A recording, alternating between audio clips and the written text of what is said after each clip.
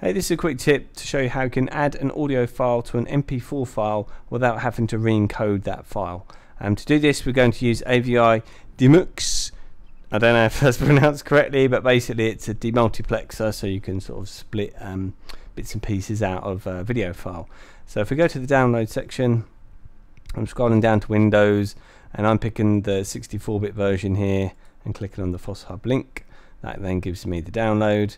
I'm just I've already installed that so I've gone to install it. It's quite straightforward. And that's given me this um, shortcut here. So if I double click to open I'm going to add uh, an audio uh, video file sorry which is this mp4 which is some game footage I, I recorded. And now I'm going to add the audio track. So I click on the audio section here select the track I want. I'm going to enable this extra track. I'm going to click this little drop down menu and click add audio track now I've got an audio track from another game which is um, Lotus Turbo Challenge on the Amiga. So I've just added that track there, I can OK that. Before I click OK you can see that actually the original video has an AAC audio track and this is an MP3 audio track. Now in most cases this shouldn't cause a problem because both are very well supported audio formats but obviously this all depends on the end device that's going to be playing back the video so you, you might have to experiment. You may have to convert the MP3 to AAC before you can do that, but it shouldn't be a problem. So anyway, okay that.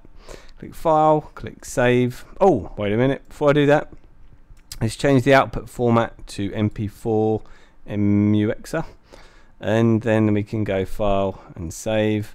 And let's, well, it's already added Edit to the end there, which is quite handy. And you can see it's already MP4. So if I click Save, and it's done. So that was quick no encoding taken place. So if I open up this audio, I'll stop talking for a minute so you can hear the difference, but the first um, audio track will be the original game, and the second will be the um, audio recording for another game, which is that one there. So if I open it up,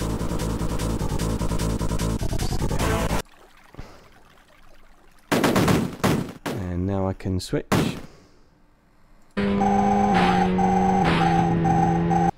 Go. That's it really. Um, it works pretty well. Um, I've had issues with some um, files that might have had variable frame rates. So obviously your mileage may vary. Just um, experiment if you have any problems. But this is free software and it works really well. So um, definitely worth giving it a go. Hopefully this tip has been useful to you. If it has, please give me a thumbs up because that helps my channel get more attention and uh, encourages me to do more videos. And if you'd like to write me a comment, please do that because that also encourages me to do more videos.